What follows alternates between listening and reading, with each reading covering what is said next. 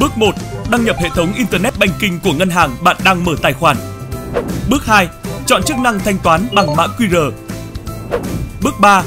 Scan hình ảnh mã QR thanh toán học phí được sinh ra tự động hoặc được bạn lưu trong thư mục trên thiết bị di động. Bước 4. Màn hình thanh toán sẽ hiện ra với các thông tin về học phí cần đóng. Bạn hãy kiểm tra lại thông tin thanh toán trước khi xác thực. Bước 5. Nhập OTP để xác thực giao dịch. Bước 6. Màn hình thông báo giao dịch thành công sẽ xuất hiện. Bạn đã hoàn thành giao dịch.